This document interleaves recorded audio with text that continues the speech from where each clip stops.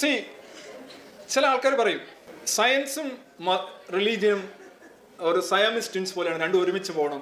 വലിയ വലിയ സയന്റിസ്റ്റുകളെല്ലാം വിശ്വാസികളായിരുന്നു സി നൂറ്റി അൻപത് വർഷം ആയുള്ളൂ സയൻസ് എന്ന് പറയുന്ന ഒരു ടേം ശരിക്കും സയൻസ് നാച്ചുറൽ ഫിലോസഫി എന്നായിരുന്നു ഈ പ്രിൻകിപ്പിയ മാത്തമാറ്റിക്ക എന്ന് പറയുന്ന ന്യൂട്ടന്റെ പുസ്തകത്തിന് നാച്ചുറൽ ഫിലോസഫി എന്ന് എഴുതിയിരിക്കുന്നത്. അതിന് സയൻസ് എന്ന് പറഞ്ഞ പദം പോലും ഇല്ല സയൻസും അതിന്റെ മെത്തഡോളജിയും ഒക്കെ നിരന്തരമായി ഉരുത്തിരിഞ്ഞു വരികയാണ് ഇവോൾവ് ചെയ്തു വരികയാണ്. മനസ്സിലായല്ലേ? ഇപ്പോൾ ഉള്ള നിങ്ങളുടെ ഇപ്പോൾ ഓരോരോ റിസർച്ചിന്റെ ഓരോ മെത്തഡോളജി ഉണ്ടല്ലോ. അതൊന്നും പണ്ടുണ്ടായിരുന്നില്ല. അൽക്കമി പോലും സയൻസ് ആണെന്ന് കരുതുന്ന ഒരു കാലഘട്ടം ഉണ്ടായിരുന്നു. സയൻസും ഉരുത്തിരി അതായത് അതിങ്ങനെ ഓരോരോ സ്റ്റെപ്പ് വഴി ഇങ്ങനെ വികസിച്ചു വരികയാണ്. എങ്ങനെയാണ് ഒരു സിംഗിൾ സെല്ലർ ഓർഗാനിസത്തിൽ നിന്ന് ആനയും പൂച്ചയും മനുഷ്യനും ഒക്കെ ഉണ്ടാകുന്ന ആ ഒരു പ്രോസസ്സ് എല്ലാ ജ്ഞാനരൂപങ്ങളിലും അത്തരത്തിലുള്ള ഒരു വികസനം നടക്കുന്നുണ്ട്. അങ്ങനെയാണ് സയൻസും സയൻസായി മാറുന്നത്. അതാണ് നാച്ചുറൽ ഫിലോസഫി എന്ന് സയന്റിസ്റ്റ് എന്നൊരിക്കലും ന്യൂട്ടനെ ന്യൂട്ടന്റെ കാലത്ത് ആരും വിളിച്ചിട്ടില്ല. പക്ഷെ ഇന്ന് ലോകത്തെ ഏറ്റവും വലിയ സയന്റിസ്റ്റുകൾ എന്ന് പറയുമ്പോൾ നമ്മൾ ന്യൂട്ടന്റെ കാര്യമാണ് പറയുന്നത് അല്ലേ? അതാണ് അതിന്റെ ഒരു പ്രത്യേകത. അപ്പോൾ അന്ന് എല്ലാവരും വിശ്വ അന്ന് പഠിപ്പിച്ചിരുന്നത് കൂടുതലും പഠിക്കാൻ അർഹതയുണ്ടായിരുന്ന മതത്തിന്റെ ആൾക്കാർക്കാണ്. പഠിപ്പിച്ചിരുന്നത് മതത്തിന്റെ ആൾക്കാരാണ്. മതത്തെ പിന്തുണയ്ക്കാതെ മതത്തിന് എതിർത്തുകൊണ്ട് ആർക്കും പഠിക്കാനും സാധിക്കില്ല. ആർക്കും സാധിക്കില്ല. അങ്ങനെ ഒരു കാലം നൂറ്റമ്പത് വർഷത്തിന് മുന്നേ അല്ലെങ്കിൽ ഒരു ഇരുന്നൂറ് വർഷത്തിന് മുന്നേ യൂറോപ്പിൽ എങ്ങും തന്നെ ഒരു നോൺ ബിലീവർക്ക് സയന്റിസ്റ്റ് പോയിട്ട് ഒരു ഭിക്ഷക്കാരനായിട്ട് പോലും ജീവിക്കാൻ പറ്റില്ലായിരുന്നു. ഗലീലിയുടെ ഒക്കെ കഥ നിങ്ങൾ കേട്ടിട്ടുണ്ടാവും നിങ്ങളുടെ വിശ്വാസമല്ല അവരുടെ വിശ്വാസം നിങ്ങൾ ഏറ്റുപാടുക എന്നുള്ളതാണ് മതത്തിന്റെ സിലബസ് എന്ന് പറയുന്നത്. സയൻസിൽ അങ്ങനെയല്ല നിങ്ങളുടെ വിശ്വാസവും അവരുടെ വിശ്വാസവുമല്ല മറിച്ച് എന്താണോ അതിനെ നിങ്ങൾ പിന്തുണയ്ക്കുക എന്നുള്ളതാണ്. What is or what not what could be or what ought to be ഇതല്ല. എന്തായിരിക്കണം ഇങ്ങനെയല്ല നിങ്ങൾ ബിഹേവ് ചെയ്യേണ്ടതല്ല എന്താണ് എന്നുള്ളതാണ് സയൻസ് പരിശോധിക്കുന്നത്. മോറലി ന്യൂട്രലാണ് മൊറാലിറ്റി നിങ്ങൾക്കുണ്ട്.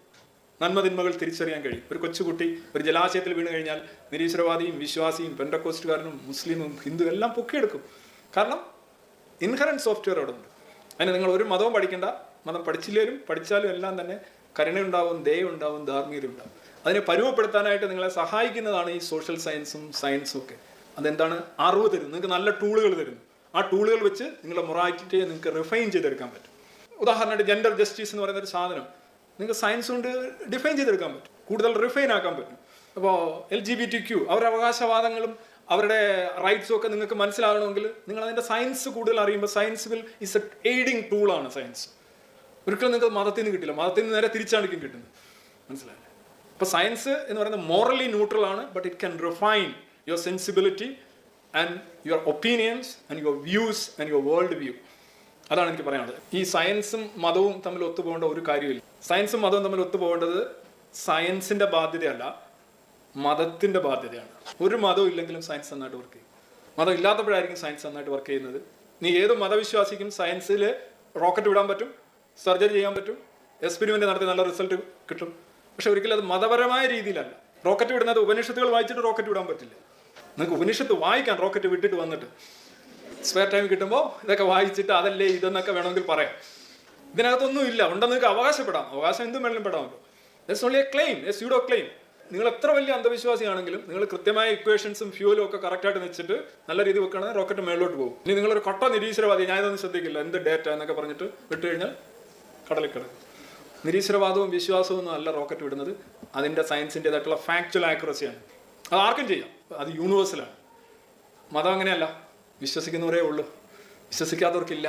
പാത ഒഴിപ്പിക്കുന്ന കണ്ടിട്ടില്ലേ ഒരു പെൺകുട്ടിയൊക്കെ നടുക വെച്ചിട്ട് ഇങ്ങനെ ഭയങ്കര വെച്ചിട്ട് ഇറങ്ങി ഓടി പോവോ എന്നൊക്കെ ചോദിക്കുമ്പോൾ ഇറങ്ങി പോകുന്നു പിറ്റേന്ന് പറയും നഗലേട്ടാ ഞാനിപ്പോൾ എവിടെയാണ്? എന്ന് ചോദിക്കുന്നു. കാരണം എന്താണ്? ദാറ്റ് പേഴ്സൺ ബിലീവ് ഇൻ ബാധ നഗലേട്ടൻ ബിലീവ് ഇൻ ബാധ എവറിബഡി ബിലീവ്സ് ഇൻ ബാധ ചുറ്റുപാടും വിളിച്ചുകൊണ്ട് വന്ന ആളുകളും ബാധയിൽ വിശ്വസിക്കുന്നുണ്ട്. നഗലേട്ടനും വിശ്വസിക്കുന്നുണ്ട്. ഈ കുട്ടിയും വിശ്വസിക്കുന്നുണ്ട്. സപ്പോസ് സപ്പോസ് ഈ മൂന്ന് കൂട്ടരും വിശ്വസിക്കുന്നില്ല ബാധയിൽ എന്തായിരിക്കും അവിടെ സംഭവിക്കുന്നത്? ചൂരലെടുക്കുന്നതിന് മുമ്പ് അടി ഇവിടെ കിട്ടും. ചൂരൽ വാങ്ങിച്ചടിക്കും. തീർന്നു. അവിടെ ബാധ എന്ന് പറയുന്ന സാധനം ഇല്ല. ഇറ്റ്സ് എ കൺസ്ട്രക്ട് ഇതെല്ലാവരും നകുലനും നകുലന്റെ ഭാര്യയും ബന്ധുക്കളും വിശ്വസിക്കുന്നിടത്തോളം കാലം ബാധ ഹിറ്റായി ഓടും. അതേതും നിങ്ങൾ നോക്കിയാൽ മതി. ഇവരിൽ ഓരോരുത്തരായി പിന്മാറിക്കഴിഞ്ഞാൽ ബാധ ഡിസപ്പിയർ നോ ബാധ. അതാണ് സയൻസും റിലീജിയനുമായിട്ട് ഒരു ബന്ധവുമില്ല എന്ന് ഞാൻ പറയാം. പിന്നെ സയൻസ് റിലീജിയൻ ഇപ്പോൾ ഉദാഹരണമായിട്ട് ഇപ്പോൾ മലേഷ്യയിൽ പോയൊരു സഞ്ചാരി ഒരു ആസ്ട്രോനറ്റ് അദ്ദേഹത്തിന് മലേഷ്യയിൽ ബഹിരാകാശ പോകാനായിട്ട് ഒരു അവസരം കിട്ടി. അദ്ദേഹം അവിടെ പോയിരുന്ന്. റമദാൻ നോയമ്പ് പിടിച്ചു ഇറ്റ്സ് പോസിബിൾ അവിടെ എത്തിക്കാമെന്നുണ്ടെങ്കിൽ science can make you reach there but അവിടെ നിങ്ങൾക്ക് വേണേൽ ഈ പരിപാടിയെല്ലാം ചെയ്യാം. വേണമെങ്കിൽ നിങ്ങൾക്ക് അവിടെ നിന്ന് ഗീത വായിക്കാം ഖുറാൻ വായിക്കാം ബൈബിൾ വായിക്കാം no problem science can make you reach there that's a different ball game സയൻസും മതമായിട്ട് ബന്ധമില്ല. എന്താണ് സയൻസും റിലീജിയനുള്ള അടിസ്ഥാന വ്യത്യാസം എന്ന് പറയുന്നത് സയൻസ് ബേസിക്കലി സത്യം അന്വേഷിക്കാനുള്ള മനുഷ്യൻ കണ്ടെത്തിയിട്ടുള്ള ഏറ്റവും നവീനവും നൂതനവും അർത്ഥവത്തായിട്ടുള്ള വഴിയാണ്. It's a pursuit it's a search അതെപ്പോഴും ഹിറ്റ് ചെയ്യുന്നത് ഫാക്റ്റിലും ട്രൂത്തിലും ആയിരിക്കും. എങ്ങനെ? സപ്പോസ് ഈ ലോകം മുഴുവൻ അവസാനിക്കുന്നു എന്ന് കരുതാം. പെട്ടെന്ന് എന്തെങ്കിലും എന്താ ക്ലൈമറ്റ് ചേഞ്ച് വരുന്നു. മൊത്തം മനുഷ്യരും പോകുന്നു. കുറച്ച് പേര് മാത്രം ബാക്കി വരുന്നു അല്ല പെട്ടെന്ന് എല്ലാ മനുഷ്യരും പോകുന്നു. അത് കഴിഞ്ഞിട്ട് എന്റെ ഹ്യൂമൻ ബീങ് വീണ്ടും തിരിച്ചു വരുന്നു. ഇതേപോലെ തന്നെ തിരിച്ചു വരുന്നു. ആയിരം വർഷം കഴിഞ്ഞു. പഴയ മതങ്ങളെക്കുറിച്ച് ഒരു ഓർമ്മയില്ല പുസ്തകമില്ല ഒന്നുമില്ല. എല്ലാം മണ്ണടിച്ചു പോയി. മനുഷ്യനൊരു വിശ്വാസ ജീവി ആയതുകൊണ്ട് വിശ്വാസം എന്ന് പറയുന്നത് നമ്മുടെ ഒരു സെർബറൽ ആയിട്ടുള്ള ഒരു ചായ്വാണ്. ഞാൻ പറഞ്ഞില്ല ജിയോ ഡൈസി ഞാൻ കാണിച്ചില്ല ആദ്യം. ഇങ്ങനെ പോയി പോയി ഇതിനകത്തോട്ട് വന്ന് വീണു പോകുന്നു. നമ്മൾ സയന്റിഫിക് അല്ല നമ്മൾ അൺസയന്റിഫിക് ആണ്. പ്രബുദ്ധ മലയാളി എന്നൊക്കെ പറയുന്നത് ചുമ്മാ നമ്മളെ അപഹസിക്കുകയാണ് സ്വയം അപഹസിക്കുകയാണ്. നമ്മൾ അങ്ങനെയൊന്നുമല്ല. സയൻസ് എന്ന് പറയുന്നത് നമുക്ക് അലർജിയാണ് അനാത്തമയാണ് നമ്മൾ ഇഷ്ടപ്പെടുന്ന കാര്യമൊന്നുമല്ല. ഏറ്റവും കൂടുതൽ സയൻസിനെ ആക്രമിക്കുന്നത് സയൻസ് പഠിക്കുന്നവരുമാണ്. അപ്പോട്ടെ ഞാൻ പറയുന്നത് ഈ ആയിരം വർഷം കഴിഞ്ഞ് എല്ലാ മതങ്ങളും പുസ്തകങ്ങളും പോയി കഴിഞ്ഞാൽ പിന്നെ വരുന്ന ഒരു ജനത ഉണ്ടാവുമല്ലോ. അവരും വിശ്വാസങ്ങളും പുസ്തകങ്ങളും വീണ്ടും റീക്രിയേറ്റ് ചെയ്യും. അവരിലും വലിയ വലിയ മതങ്ങളുണ്ടാവും അവർക്കും പുസ്തകങ്ങളുണ്ടാവും ചിലപ്പോൾ റിച്വൽസ് ഇതേ കണക്കുള്ള ആയിരിക്കില്ല. ഒരുപാട് വ്യത്യാസം കുറേ പുരോഗമിച്ച മതങ്ങളായിരിക്കും. പുതിയ മതങ്ങളും പുതിയ പുസ്തകങ്ങളും വരുമ്പോൾ അന്ന് ഈ ലോകവീക്ഷണങ്ങളും ആചാരങ്ങളും അനുഷ്ഠാനങ്ങളും ഒക്കെ ഈ പുസ്തകങ്ങളിൽ തീർത്തും വ്യത്യസ്തമായിരിക്കും. ഇന്നത്തെ മതങ്ങളുമായിട്ട് ഒരു ബന്ധവും ഉണ്ടാവില്ല. നിങ്ങൾ പഴയ മതങ്ങളുടെ ആചാരങ്ങൾ ഇന്നത്തെ മതങ്ങളുടെ ആചാരങ്ങൾ നോക്കുക. അങ്ങനെയായിരിക്കും. കാരണം എന്താണ്?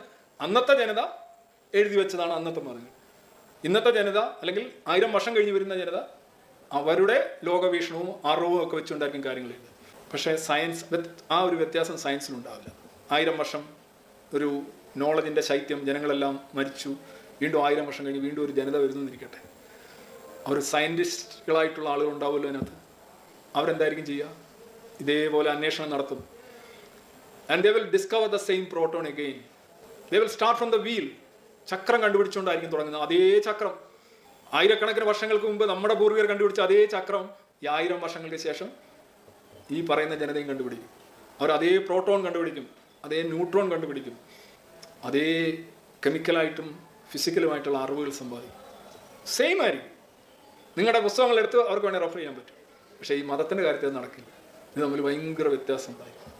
കാരണം സയൻസ് എപ്പോഴും ഡീൽ ചെയ്യുന്നത് ഫാക്റ്റാണ് ഫാക്റ്റ് മാറുന്നില്ല that's something you can blindly espouse because it is fact and it's real